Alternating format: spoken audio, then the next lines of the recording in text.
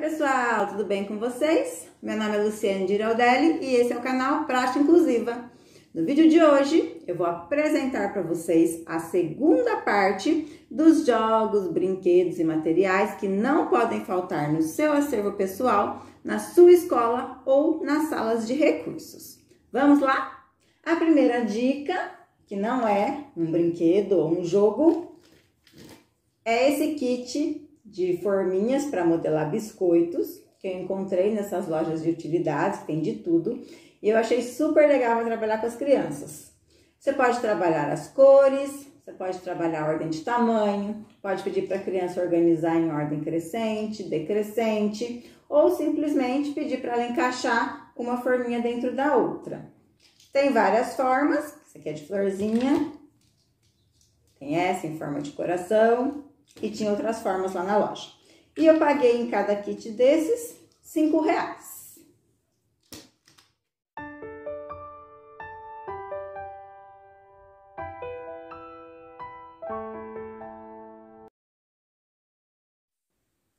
Livro interativo também é um material bem legal para ter no acervo. Esse é do tipo Push e Ache, onde tem uma perguntinha simples e a resposta fica numa aba onde a criança vai puxar para encontrar. Esse outro é um livro de textura, onde, conforme vai passando a historinha, cada página tem uma textura diferente para ela tatear, apreciar. Esse tipo de livrinho custa em média 35 reais e é encontrado facilmente em qualquer livraria. Além de muito divertido, ele estimula a leitura e a percepção.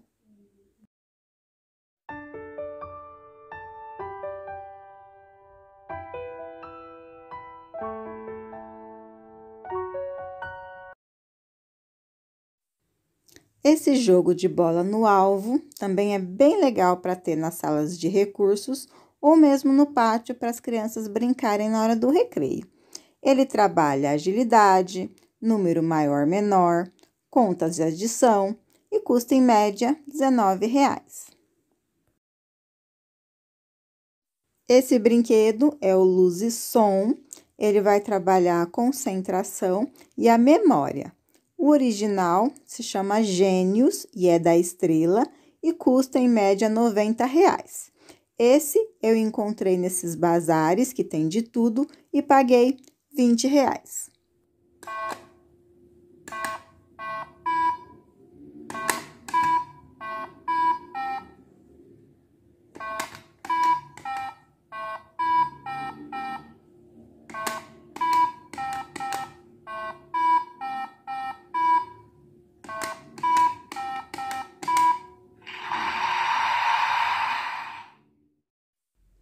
Os brinquedos de encaixe geralmente já tem nas escolas, mas o meu preferido é esse, que se chama Pinos Mágicos.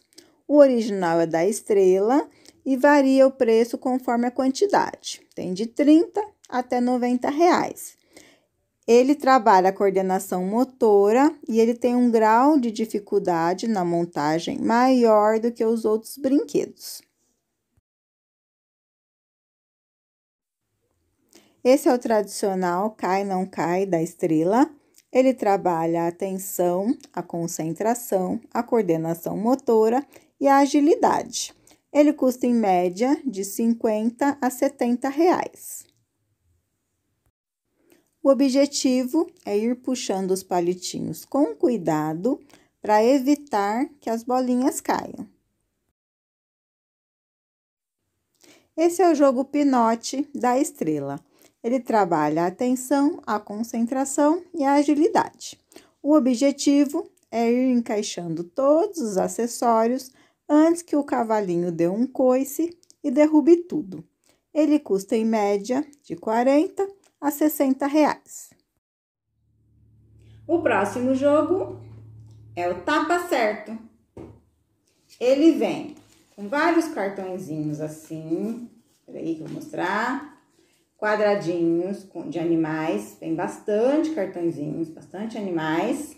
E vem também os mesmos animais nesses cartõezinhos redondos. Vem também com essas três mãozinhas. Em cada uma delas tem essa ventosa, não sei se é assim que fala, que é para grudar os cartõezinhos. O ideal para esse jogo é ter participando pelo menos três pessoas, porque um vai sortear um cartãozinho e os outros dois vão competir entre eles para ver quem consegue encontrar o bichinho primeiro e bater lá e grudar.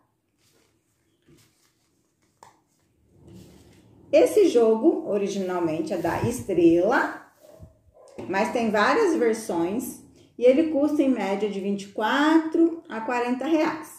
Ele trabalha a percepção visual, a coordenação motora, a agilidade. É bem legal também para trabalhar, para ter no acervo.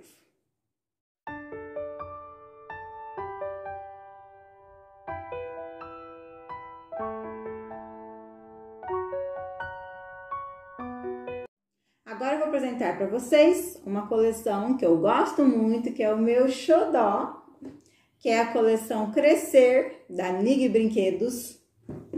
E esse primeiro que eu tenho aqui é um joguinho de rimas, muito legal para trabalhar.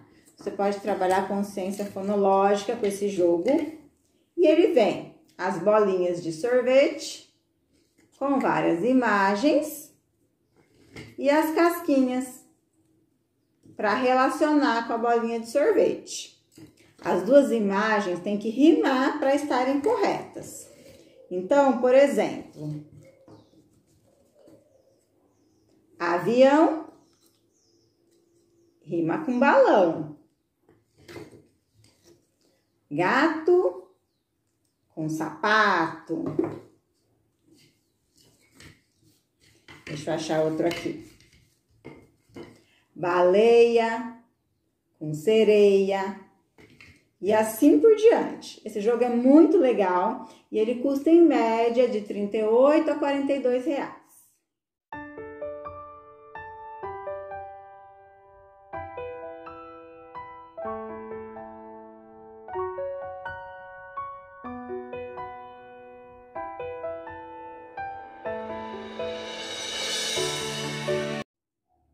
O segundo jogo dessa coleção Crescer, eu vou mostrar para vocês, é o Forma Bichos, também é bem legal. Dá para você trabalhar percepção visual, coordenação motora, atenção, concentração.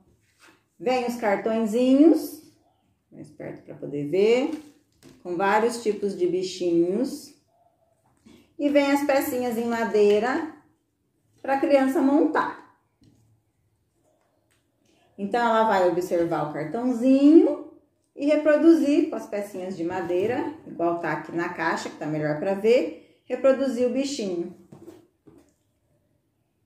É bem legal também e tá na mesma faixa de preço do outro joguinho, entre 38 e 42 reais.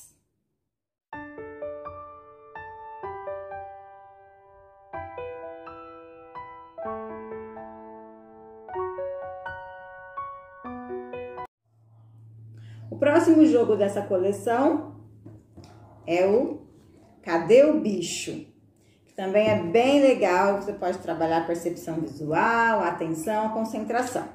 Ele vem com três dados, um de cores, um de bichinhos, de animais, e outro com o tipo de roupinha que cada animalzinho pode estar. E aí eu tenho os animais porquinho. Aí eu vou encontrar no porquinho amarelo com roupinha em zigue-zague, amarelo com bolinhas. Deixa eu achar aqui o outro porquinho. Vermelho com bolinhas. Tem o panda com roupinha xadrez. Panda com roupa de bolinha. Cachorro e aí vai variando o animalzinho, a cor da roupinha e o tipo de roupinha. A criança joga os três dados e, por exemplo, olha, saiu o azul, cachorrinho com roupa de bolinha. Então, é um cachorrinho na cor azul com roupa de bolinha. E aí a criança tem que encontrar onde está o cachorrinho azul com roupa de bolinha É muito legal também e também custa em média 38 a 42 reais.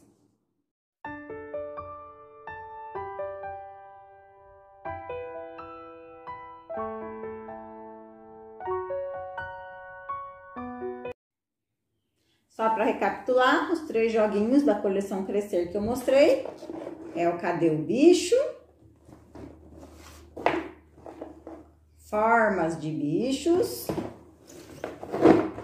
e o Sorvete de Rimas. Tem outros jogos dessa coleção, mas eu não tenho ainda, mas eu chego lá, em breve vou ter.